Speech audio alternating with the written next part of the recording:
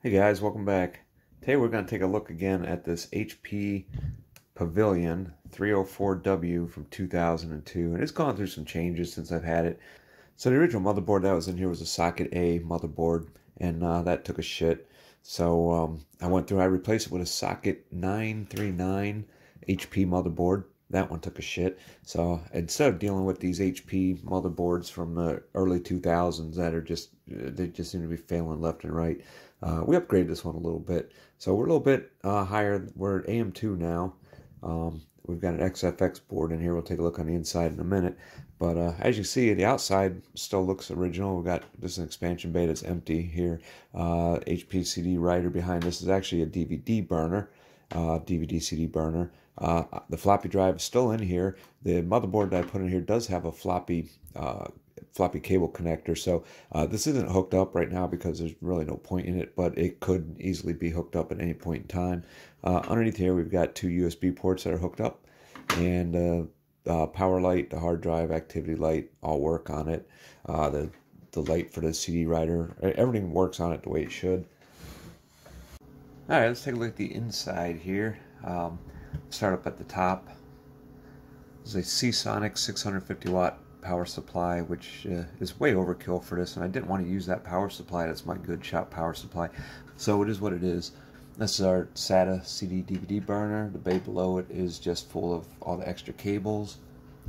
And right below that, you can see is the 1.44 megabyte floppy right there. And here is a uh, two and a half inch SATA uh, SSD. And down I don't know if you can see back here behind this cable, uh, on the motherboard. That is a floppy connector, so that floppy drive could be hooked up if needed. Uh, this motherboard is an XFX motherboard. It's an MI A78S 8209. It's a uh, GeForce 8200 chipset motherboard, and you can see we've got a nice uh, heat pipe and uh, coolers on the motherboard there. It is socket AM2. That is an Athlon 64X2 5000B 2.6 gigahertz CPU, and right here we have uh, 2 gigabytes of DDR2 800 which could be I think this motherboard will probably hold 8 gigabytes uh, but we have 2 in there for now.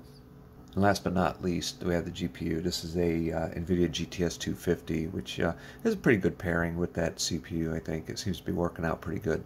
Um, but yeah that's a look at the inside here. So it's definitely not 2002 this is more 2008ish uh, so that's why I say this is kind of like a semi-sleeper quick peek at the back of it here. You can see the uh, power supply, and you can see the original holes right here where the power supply was mounted, and that would have mounted the power supply, this particular power supply with the fan up on the ceiling. So uh, I had to invert it, and I had to drill some new holes to mount it, which uh, worked out pretty good. We have the power supply mounted in there perfectly now.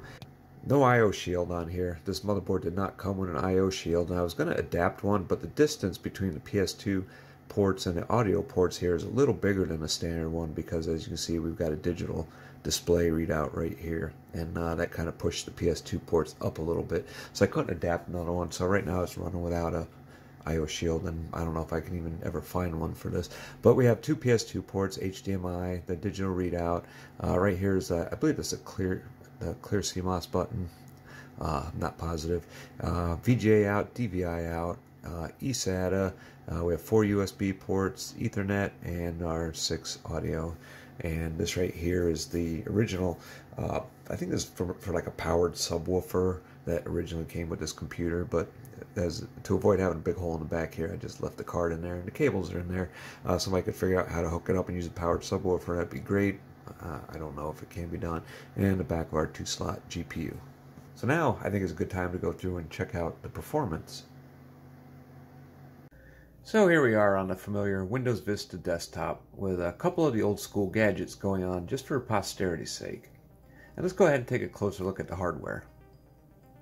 Again, we're running the AMD Athlon 64X2 5000B CPU, which is a 65 nanometer Brisbane CPU that runs at 2.6 GHz with two cores and two threads. Cool and quiet is enabled, so putting the CPU under load will run it up to the 2.6 GHz.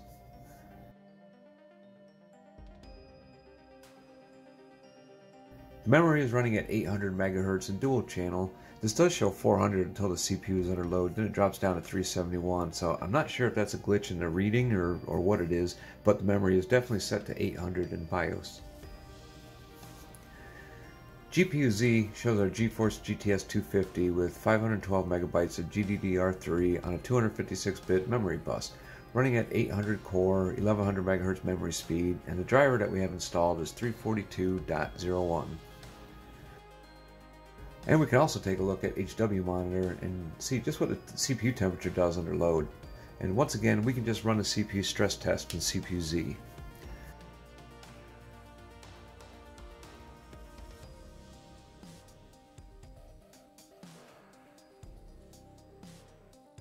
So let's go ahead and jump into some games, and while I didn't load up a lot of them, we do have a few that we can check out.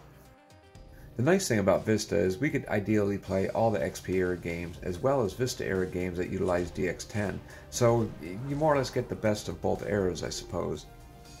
So starting out with Unreal Tournament 2004, although quite the range of 4.3 resolutions, I don't see any option for 16.9, so we're going to run this at 1600 by 1024 with the settings that you see here. Play.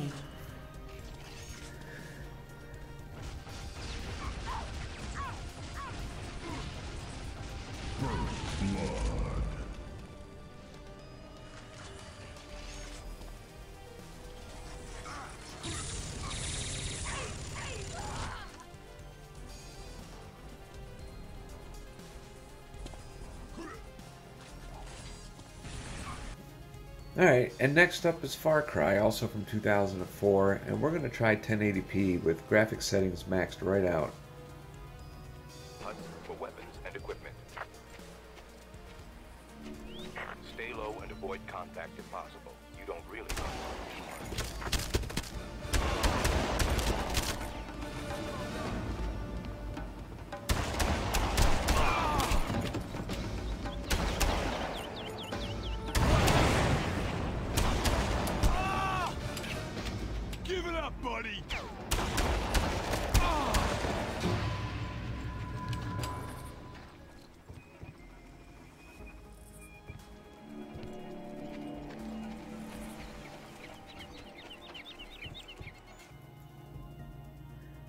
And jumping up to 2008 with Far Cry 2, the in-game benchmark, we're, we're using DX10 at 1080p with the settings that you see here, and we're going to let this run and see how it does.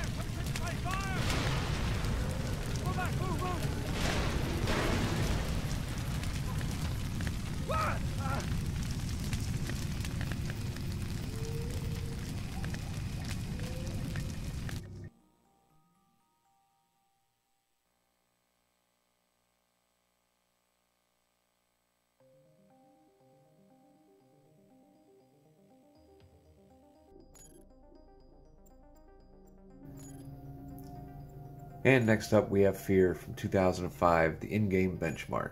We're going to run this at 1080p with everything on maximum and AA turned off.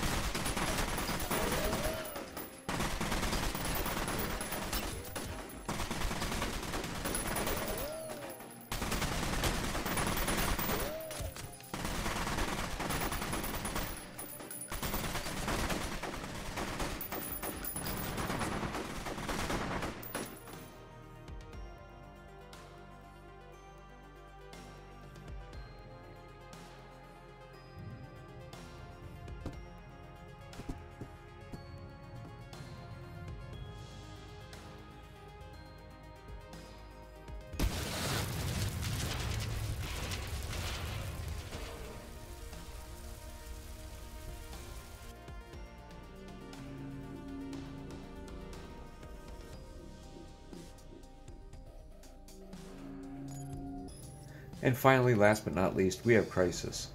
And at 1080p with all settings on low, except for texture and water quality, we'll turn those on high. We're going to give this a go.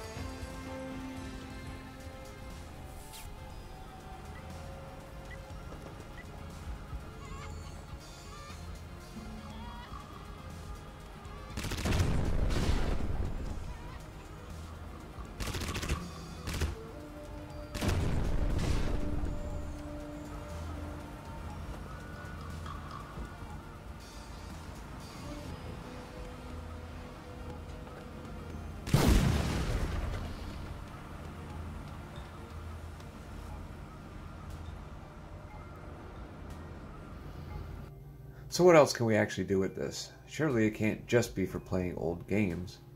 Well, we can actually use Firefox to access the internet. Using version ESR 52.9.0, the very last version that works on Vista, we can even watch YouTube. With this hardware, 720p is doable, although barely, but it does actually work.